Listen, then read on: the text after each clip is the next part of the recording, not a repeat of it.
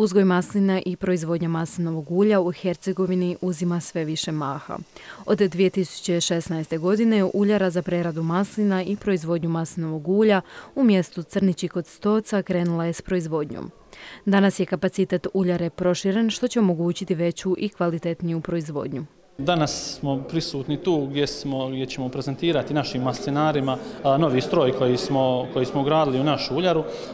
Prije smo imali stroj od, od 80 kila i to, i to je bila mini uljara koja je u jednom trenutku zadovoljavala naše potrebe, međutim kako maslinarstvo se više i više razvija, iskazala se potreba za, za veći stroj. Za desetak dana ćemo početi, početi brati i nadam se da će biti stvarno ured kvalitetan i nadam se da će biti i radman dobar, jer smo sad u zadruzi dobili novu uljaru koja je kapaciteta 250 kg, a do sad je bila 80.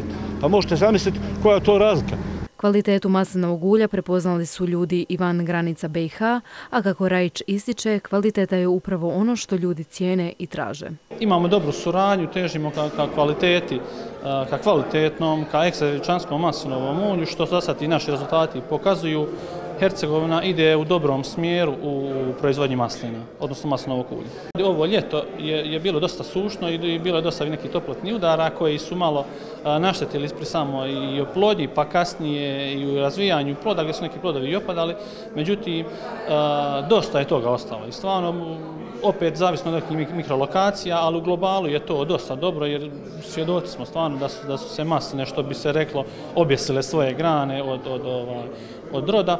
I evo, ja mislim da će to biti sve dobro. Udruga Hercegovački plodovi Mediterana broji mnoštvo članova čije masline u uljaniku obrađuju, ali su vrata otvorena i za druge proizvođače koji ulažu u maslinarstvo. Uz poporu županije i općine i ljudi koji vode, pa uz poticaj koji u zadnje vrijeme dobijamo, ima perspektivu. Samo ne može se očekivati perspektive na sedam maslina ili 20.